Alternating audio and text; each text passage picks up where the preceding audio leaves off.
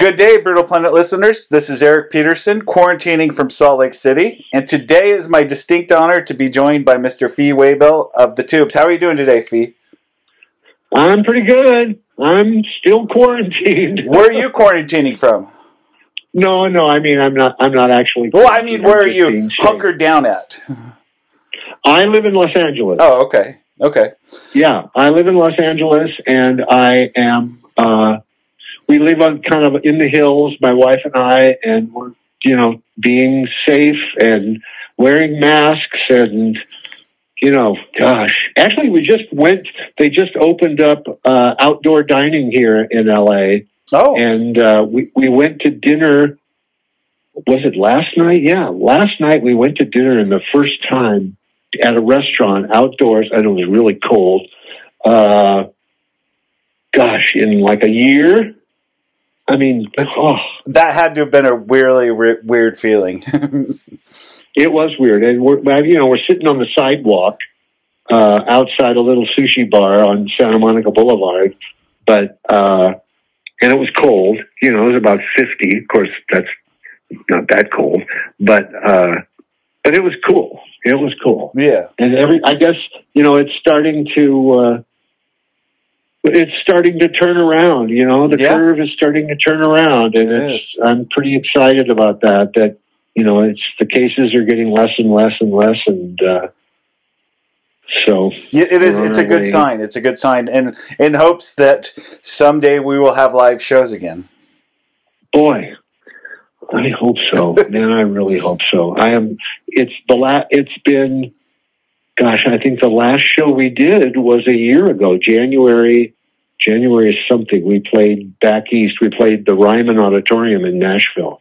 Wow. And, uh, and another theater in uh, in upstate Illinois. Uh, and that was like January twentieth or something like that. Okay. Of of that was the last gig we did. Man. Wow. Well, we're here to talk about your uh, latest release, which is semi-new still. It's a free uh, Fee Waybill Rides Again. And before I start, I wanted to say I'm a big fan of the Tubes. I was introduced to the fan, uh, the Tubes, and the by MTV back in the '80s from uh, She's a Beauty. After that, Oh, yeah. after that, I went back and discovered your older stuff, and I was fortunate enough to have an uncle who was a little older than me, and he had been a fan of yours for longer than that. And he talked. We talked just before this interview, and he wanted me to ask you a question. And so, in his honor, I'd like to ask you, where did you guys come up with the name The Tubes, and how did you come about that name?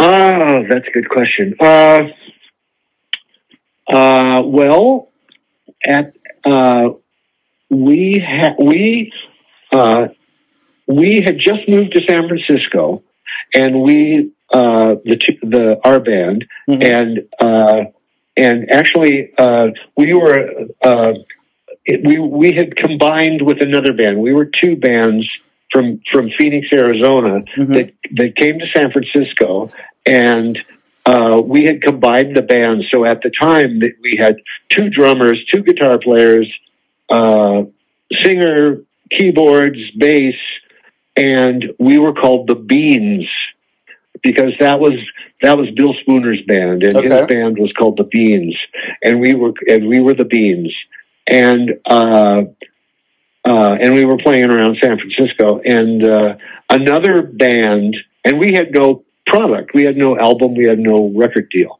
but and a and a band from New Jersey came out with an album called The Beans, Ah, and and we saw this, and we oh.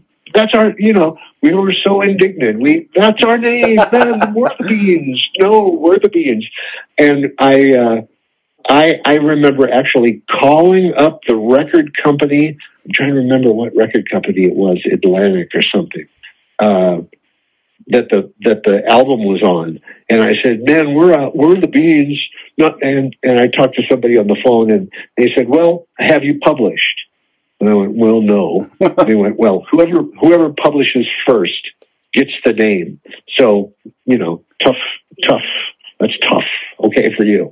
And so we got we sat around with all the guys in the band, and we said, well, okay, let's everybody come up with 10 names and we're going to, you know, we had all these, the gas men and, uh, suffer for sound and Larry and Mary and, uh, all these names and put them on, put them on it, write them down on a piece of paper and put them all in a hat.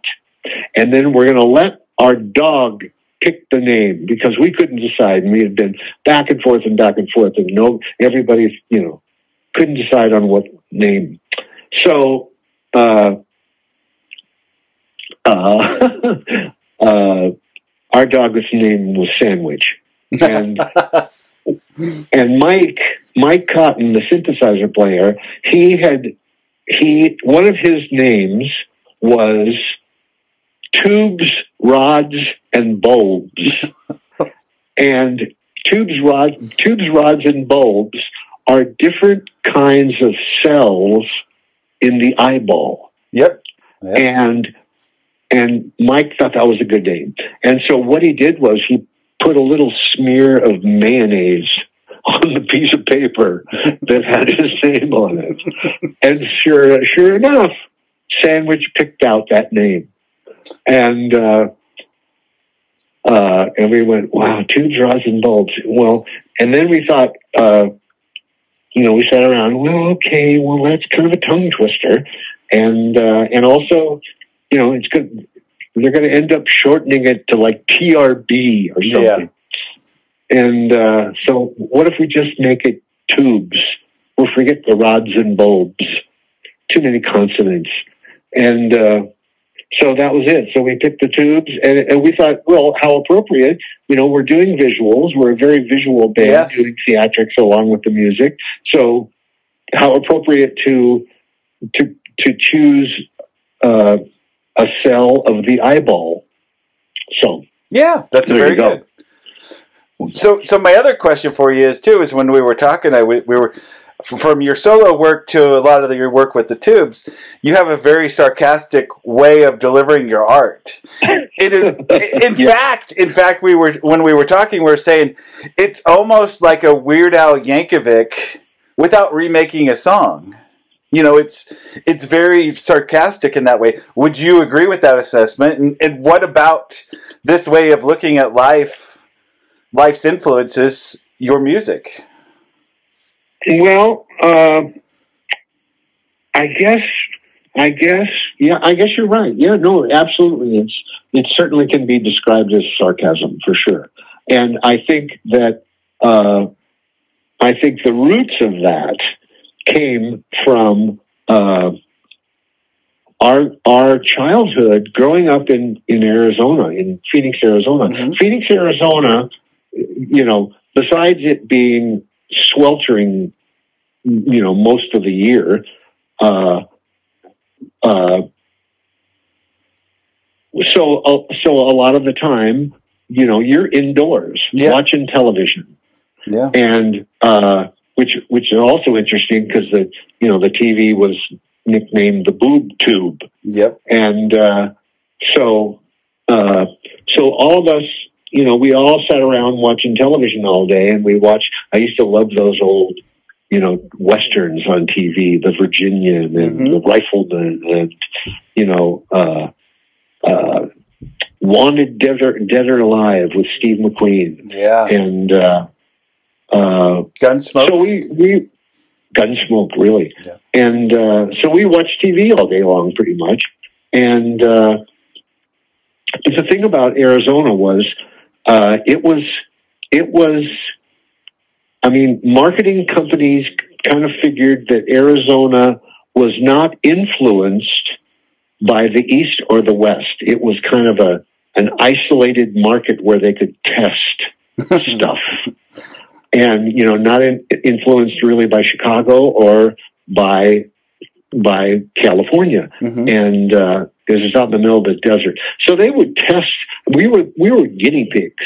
They would test every fast food was originally tested in Arizona. Drive through fast food. You know, Jack in the Box and McDonald's. I think one of the very first McDonald's was in Arizona, and uh, they used to test all kinds of stuff on us. And like like one of the tests were these uh, trampoline parks. They would, you know, and, and everything was completely spread out. You know, it's a one it's a one level city, Phoenix, mo- for the most part, or at least it was back then. So we had these giant malls. They were just huge, and this just parking lots were ma- just vast stretches of asphalt. And uh, so, in one of them, they decided to try this. Uh, trampoline city where they would cut a cut a hole in the asphalt about three feet deep, you know, and about, I don't know, 10 by 12 or something like that. And they stretched a, tam- a trampoline across it. And then, you know, with springs and everything tied down on the sides. Mhm. And, but, but, but that's it, right in the middle of the asphalt. So, so then they're selling tickets to people to come and jump on the trampolines. They went, oh, that's so great and everything. Except that, that the surrounding perimeter was asphalt. so you, you, nobody knew what how to trampoline. Yeah. And so you're jumping on the trampoline, and the next thing you know, you're flying off head first onto the asphalt.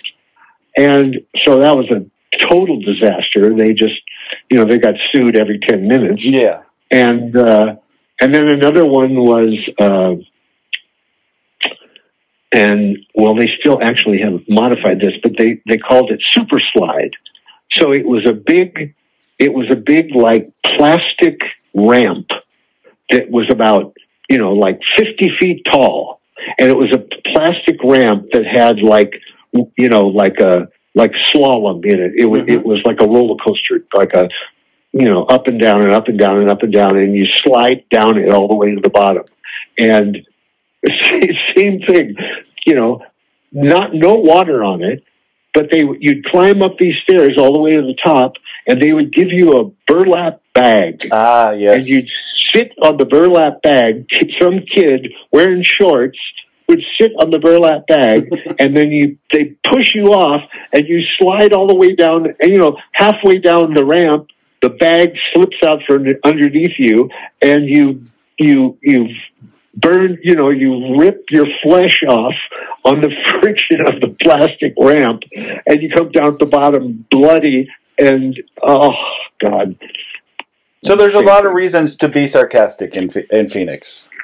Exactly, and the sarcasm was was you know developed, I think, over the years, and uh, uh, you know it just became a you know became a part of our persona, I guess. Sarcasm. And you're I try to I try not to be so sarcastic anymore on it. Uh, although a couple of the songs, you know, on the record, uh, "Man of the World" is pretty sarcastic, yeah. and uh, and "Promised Land" Promised is Land. also pretty sarcastic. And, and you know, Uh, and it meant to meant to be alone is one of my favorite songs, and that's it's got a little bit of sarcasm in it. I love the words to the Yeah. song. You know, Yeah, yeah, that too. Yeah, kind of hard to get away from, I guess. Yeah, I've, so- I've been trying to be more positive, especially with the situation. yeah, You know, it's hard to be it's hard to be sarcastic about a pandemic that's killing hundreds of thousands of people. True, Oh, true. So, so listening to you guys, I wanted to get an idea of who some of your early influences were. I mean, I, I feel like maybe some Frank Zappa was had to have been in there, but I'm not. And Oh then, yeah. and then, Oh yeah. and then some of your stage show was was. I mean, you're a fellow native, uh, Alice Cooper. I mean, you, some of that stuff was that mixed in there too. Oh yeah, absolutely. I mean, it, it's funny. We used to. We would never admit that. You know that we were influenced by Alice, and he would never admit that he was influenced by us. Yeah. And we always used to think that you know he would send spies to our show to steal our ideas, and then he thought we sent spies to his shows to steal his ideas. That's great. And uh, and it's funny because you know we're best of friends, and you know I've I've been friends with Alice for years and years. We've played with him a hundred times, easy, because obviously some promoters going, oh well, they're the two biggest theatrical bands there Yeah. ever was. Well, let's put them together. And uh, he's got a uh, he still lives in Phoenix, and he has a uh, a charitable foundation called the Rock Solid Foundation, and I always go back to help him raise money. It's for like an after school, uh, an after school program that teaches kids music Oh, and yeah. dance and art. Yeah. and and and it's completely free. And uh and it's done really well. And it's he's really helped. Every year we do a, a golf tournament. Of course it's not not anymore. Yeah. we do a golf tournament with uh celebrity golf tournament.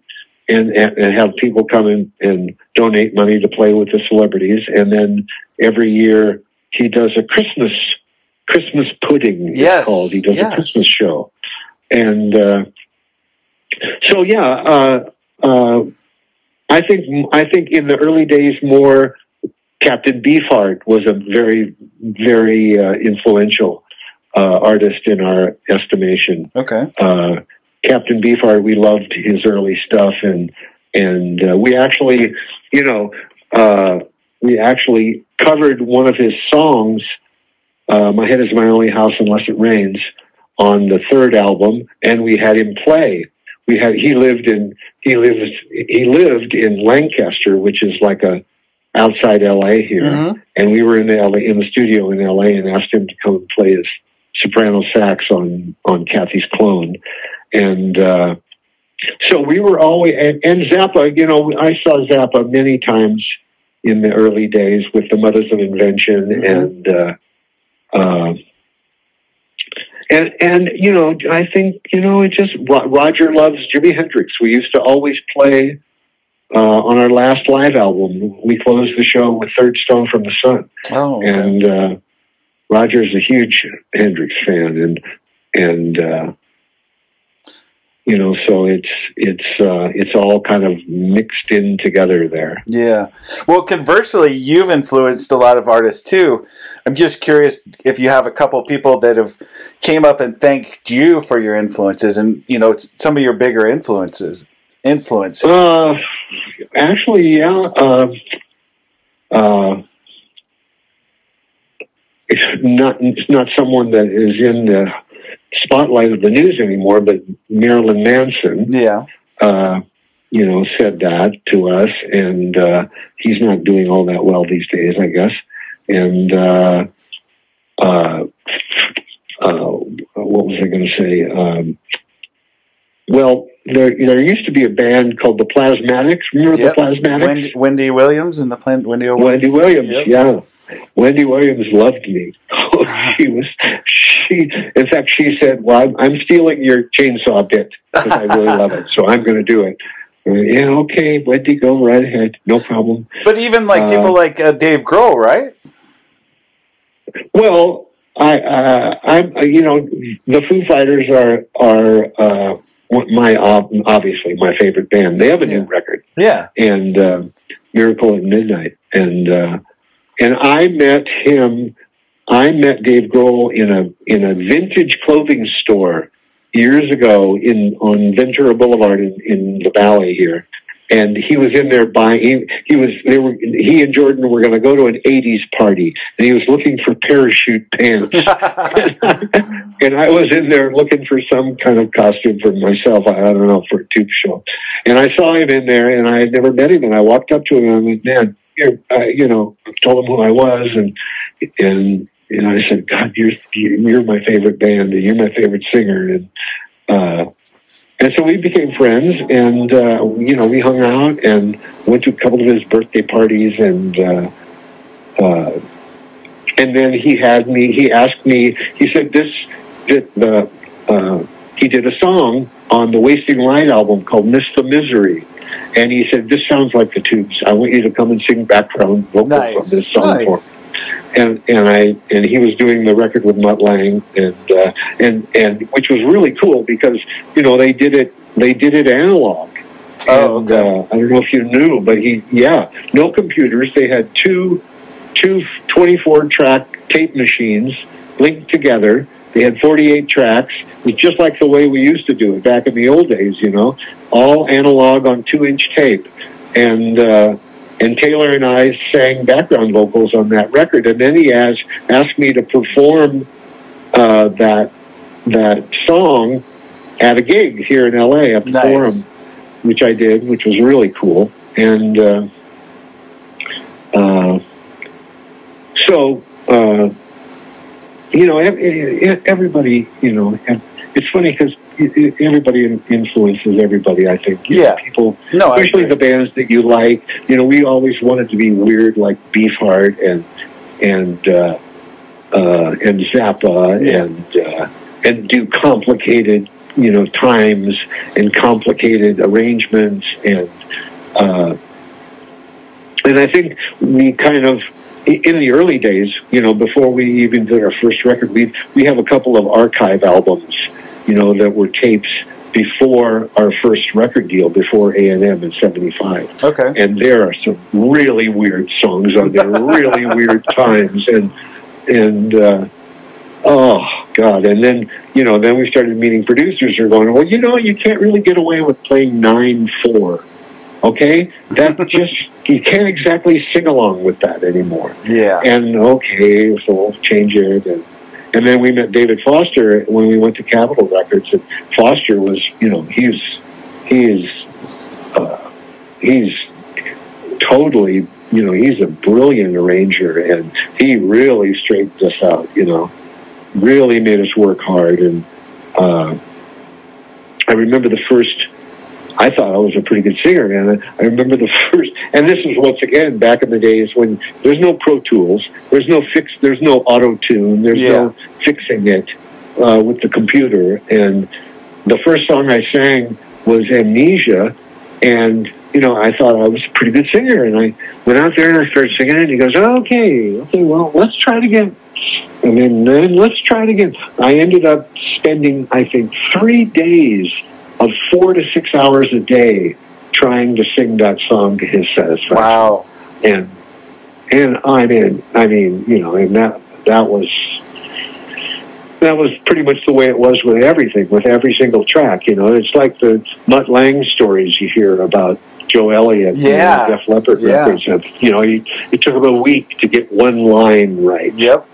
So, uh, uh, and, which was kind of cool, you know. After all those stories, I got to work with Mutt Lange on the on the Foo Fighters record, and he's he was a pretty cool guy. He Oh, pretty cool. Yeah. So your latest album is uh, Fee Waybill Rides Again, and it came out last year, but it's still on heavy rotation on my playlist. Um, tell us a bit about that album.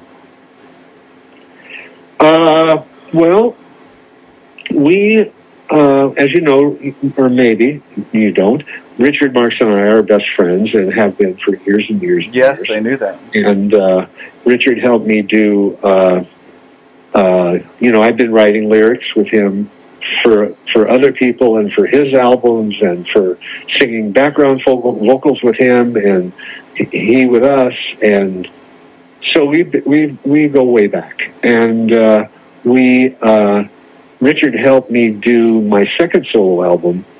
Uh, Don't be scared by these hands. He produced and wrote with me, and then you know that was 97, 98. and then a couple of years after that, he went, well, you know, and we kept saying for the next ten years, we were, well, let's do another record. Yeah, okay, let's do another record, and and then. Uh, you know, and then he went on tour, then we went on tour. Then, you know, it was just one thing after another. And uh, finally, uh, it was we. You know, he he has three sons, Mm-hmm. and I'm I'm the godfather to his three sons, Brandon, Lucas, and Jesse. Oh, are you really? I did not know that. yeah. Oh, excellent. and uh, uh, so we used to do uh, we used to do a, a summer uh, boys trip when the boys were young. We used to do a trip every summer, and we nor, used to, we used to go to his his family had a a cabin up in northern Wisconsin in a little town called Minocqua Okay. and we would drive up from Chicago. He lived outside Chicago, and we would drive up uh, to Minocqua with the boys, just Richard and I and the three boys, and uh, uh, and hang out for a week, and just do you know go fishing and go boating and go go kart riding and you know eat eat chocolate and French fries and you know do all those things that their mother wouldn't let them do. Yeah. And uh, uh, so we, we we did that year after year after year, and every summer I planned to go, you know, and you know one one year we went to whitewater rafting in Go- Cody, Wyoming, and Oh, went wow. to rodeo, and it was really fun. And uh, but then. Uh, it was the summer of 2013, and the boys were all old. I mean, the, Brandon was like 22, and uh, Lucas was 20 or 19, and Jesse was, I don't know, 17, 16. And they, you know, we said, okay, let's go to, and they kind of went, you know, we, we don't really care about fishing, okay? We're pretty much not interested in, we're, we'd rather go to the movies and hang out with our girlfriend. Oh, really? Okay. And, you know, and I had already, I said, well, you could have told me before I came. And, well, anyway, uh, Richard, so that was when we started. Richard said, let's go write a song. You know, let's try, let's, you know, we're here. We've been talking about this for 10 years. Let's do a, let's start a record. Let's start a solo record for you. And, uh, he had a studio there in his house. Mm-hmm. And, uh, I said, okay, let's do it. So we did. So we went into the studio and we wrote Faker. That was the first song Yep. and uh, you know we we demoed it and we kind of uh, I did a vocal and uh, uh, you know we and, and we you know we said let's you know let's make it like really rock you know real guitar oriented rock which nobody did anymore.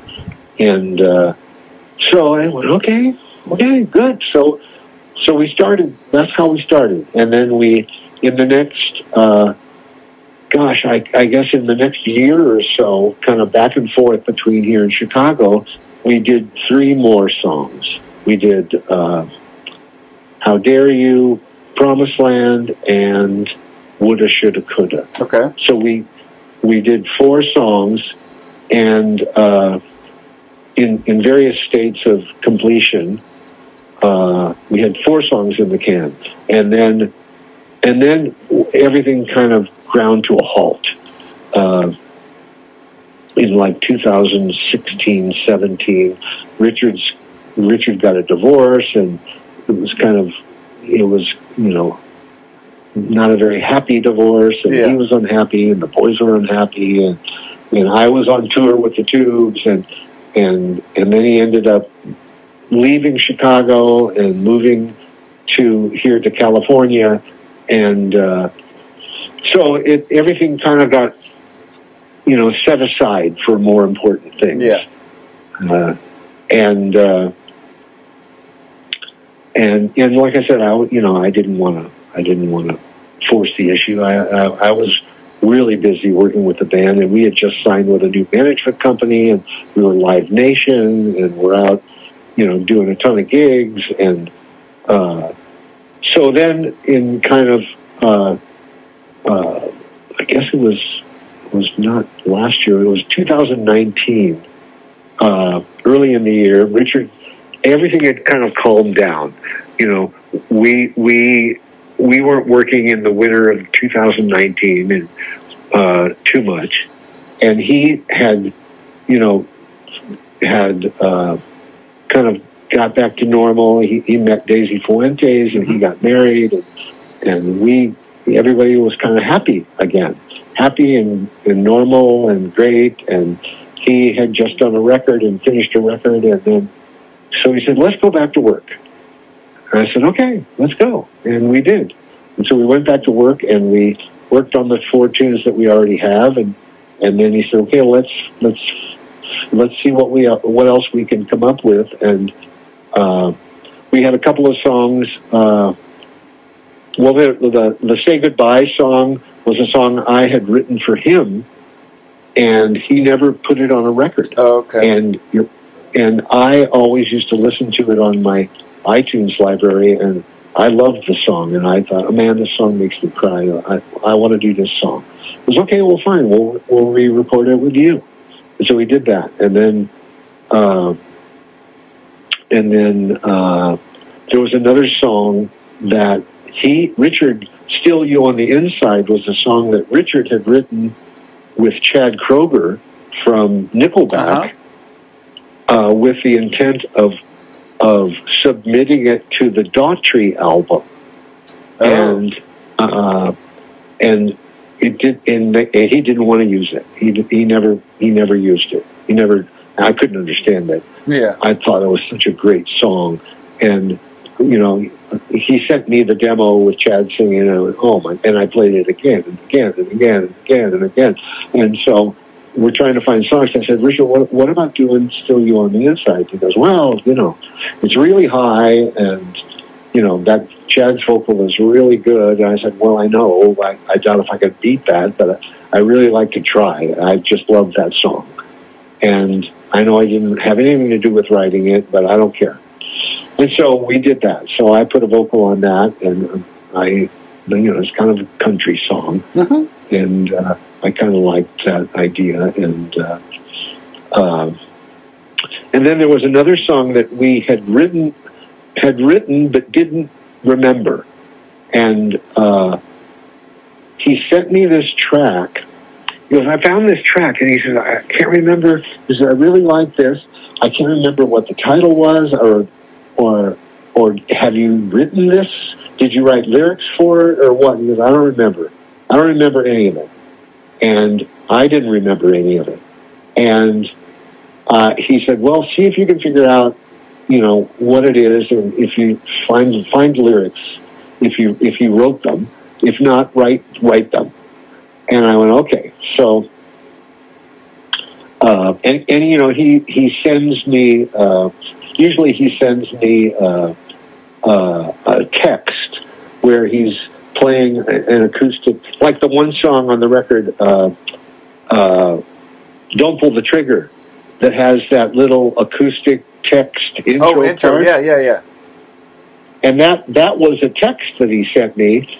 And and Elizabeth, my wife, heard that and went, "Man, that's so cool! You should put that at the beginning of the actual recorded track." And I went, "Yeah, but it's a text." She goes, "I don't care. It's really it's cute." So we, the guy that mixed the record, Matt Prock, uh, you know, I sent it to Matt, and I asked Richard. He goes, "Yeah, I, okay." I, I don't know if Matt can do that or not.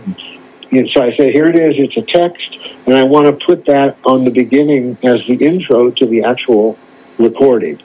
And he figured out how to do it, and and which is that's really so. That song we wrote new in in 2018, and then uh, and then the other song that we wrote new was uh, "Meant to Be Alone." Uh, the last song that was brand new. But he sent me this track, and he says, "I can't remember this song." And so I I heard the I you know I I played it, and I and it, on the track is like like we always do. It's like a it's like a guitar, acoustic guitar with a a la la uh, vocal of a melody line, you know, and uh, la la la la la, whatever the melody is, you know Mhm. and uh, so she said, "See if you can." So and so I started on my on my laptop. I have a, fo- a folder that has all the lyrics in it. You know these that you know that I've written in the last I don't know whatever ten years or something, and uh, uh, and I couldn't remember what it could. And so I just started with A, and and I just you know, I would play, the, I would have the track and I'd play it and then I'd look at the lyrics and see if they fit into the line, the melody, the length of the melody line. You know what I mean? And, uh, and I, di- I, I did it A and then B and then C and then D and then I went all the way to the M's. and finally on M, I got to Man of the World. Ah. And and I went and I played the track and I went, man, oh, oh, that's it. This is it. And that was the song. And uh, so that so we went and recorded that one. Uh, so so we had nine songs and we pretty much said, okay, well, that's good. Let's let's you know send them off to Matt to mix and to master and start working on a on an album cover. You know, and of course, you know, the best artist I know is Prairie Prince, Okay. and so I sent, I told Prairie, you know, what I wanted to do, and I told, I said, you know, I kind of want to put a pyramid and you know horses, pyramids, picture of me, and uh, so Prairie, Prairie designed the album, and uh, and uh, we got it finished kind of uh, early in 2020, and I sent it off to the to the manufacturer guy, and I got a bunch of them printed up, and uh, and then the pandemic hit, yeah. and I kind of went, oh, and then, oh no, do we really want to, you know, now what, you know? But then I thought about it. I went, you know, here, here the whole world is quarantined, and what are they going to do? They've listened to everything they've got. They probably would like something new Exactly. to listen to. And I think a lot of other artists kind of got the same idea. Let's put out a record because everybody is needs something new Yep. and they're all sitting at home, you know, going stir crazy and wanting to hear new music. And so we said, okay, fine. So we just we we just went ahead and just you know put it out on Amazon and you know all the digital uh, all the digital digital media Mhm. and did a press release and did the whole thing.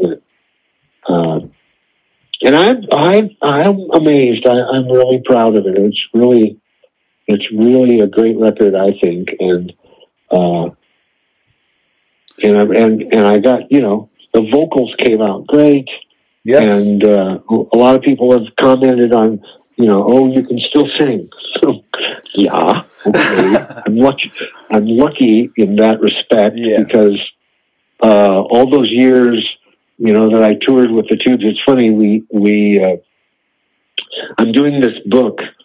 Uh, my Elizabeth and I are doing like a book of my life, and it's got all these reviews and all these pictures and all the stories, and it's called Fee Web Fee Waybill's Guide to an Unknown Trail, and. Uh, uh, because my mother kept all of these, uh, you know, boxes full of stuff, reviews Yeah. and magazines and pictures, and you know, so I have all this material that we've been going through, and uh, uh, uh, I looked at some of the uh, the old itineraries from t- touring back in the Okay. back in the day, and man, I mean, we used to do like ten in a row yeah. you know, 10 nights in a row in different cities.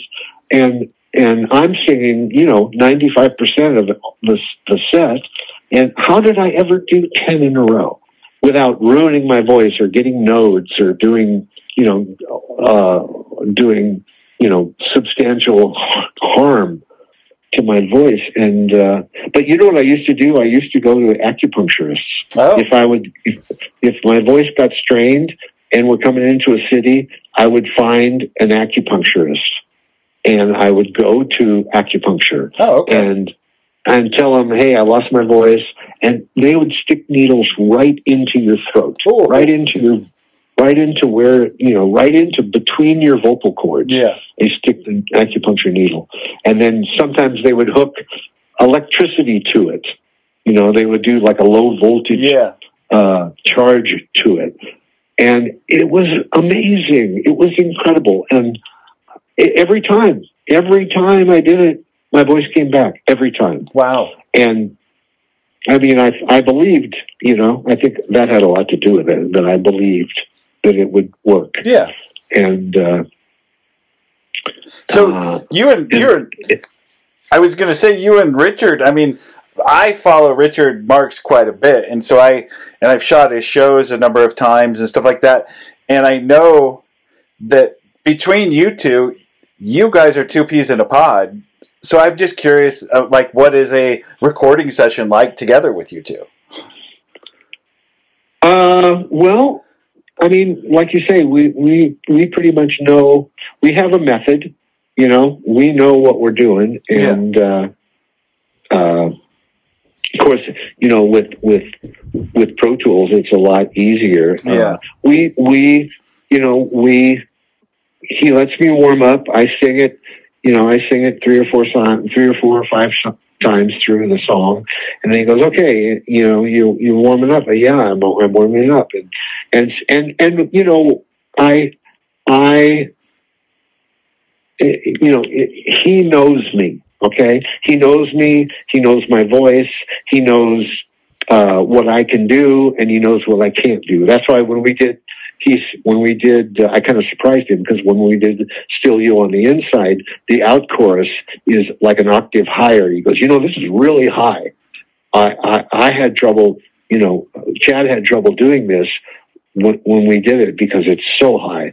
And I said, well, I know, but I, let me try. Just let me try it. Yeah. And I and I did it. I pulled off the the high part, and he was going, "Fuck, man, I can't believe it." And uh, but but he just knows me and I know him and I know how he works. I know, uh, he can say, okay, you're, you're singing a little sharp. Okay. Take, take one headphone off, move it off just ah, a little bit. okay. And I go, okay. And I take one headphone off and so I can kind of hear myself through that same side ear.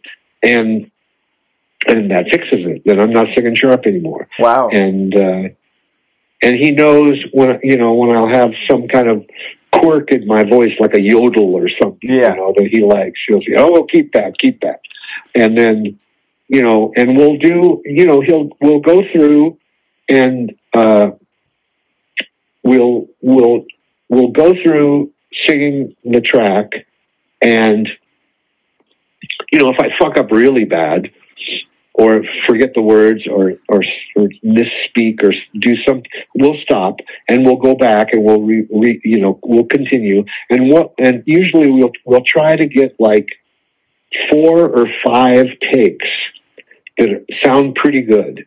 Mm-hmm. And, uh, and then we'll combine, you know, then he'll sit oh, with okay. me and the engineer guy and we'll go line by line, word by word sometimes you know, and go, okay, take word, you know, this word from track one, mm-hmm. this next word from track three, this next word back to track one, this next word back to track three. And, and you can edit that precisely, you know, with, with Pro Tools. That's amazing. And, and then we'll combine the tracks into one track that has, that may have, you know, three or four different takes all put together yeah. into one, but you can't tell. You can't you can't see the edits. Yeah. You can't hear the edits because if you have a really good guy and then and that's important too. You have to you have to be in there with an engineer that you really trust and you know is good and not only good but but fast. You know that he can do it and that he blaze right through it and he puts it all together and and uh, and then you know uh, so I mean, so that's that's that's the way we do it. And then and then if if after all of that, you know, go through the whole thing, if if there's one word or one line that none of the four tracks makes it, you know, works for it, he'll go, okay, well, you got to go back in. Yeah. You got to go back in and sing this line, just sing this line, or just sing that line, or just sing that word. And, uh, and so that's I think a lot of it is is just confidence in each other that that he knows I know that that I know I trust his judgment and his ear and he trusts what I can do also vocally. He won't ask me to do something that he knows I can't do. Yeah. And uh, so it's just you know it's just years of years of doing Yeah. that, years of working together and uh, you know, I used to do uh, on most of his records. I came in to do background vocals, usually on songs that I wrote the lyrics to. Okay. On on his records, you know, way back since 1989. So we we've got a, a, a history there. So I'm curious. You know, that- Um, you guys wrote uh, "Edge of a Broken Heart" for Vixen, that's right. and I remember. So this is going way back. I remember um, shortly after, I, or not shortly after, but after an interview with you, and you saying that you had another song for him, but they choose they chose not to take that song. Do you remember what that song was? No. Oh, okay. I was just curious No. because it was funny because I, I remember you saying in that interview, you said, "Well, we know how many hits they had. They had that one song that we wrote." Right. Well, that's what happened. They Richard produced that first record. They had a number one song with "Edge of a Broken Heart," uh huh. and uh, uh, and then you know they they they thought, oh, we're great, we can do it, we don't need you. And so when the next record came around, they said, no, we don't need you. Sorry, Richard, we don't need you. And Richard said, well, we you know we had this we had this next single all ready for you. And went, no, thanks, it's okay. and so they they dumped him and they dumped our song, and that was pretty much the end of Vixen. It was. It was. That was it. Well, Fee, I So- appreciate your time, and it's been amazing talking to you. And everybody, go pick up Fee Waybill Rides Again because it's a great album. Yeah, you can you can find it at uh, my website, feewaybill.com, or at the Tubes website. Have- It's there, or any of the digital, you know, Amazon or iTunes or any of that kind of digital stuff. Nice. Uh, it's it's all there. But but uh, thank you for having me. Yeah. I appreciate it. and we'll we'll Okay. chat. We'll chat soon.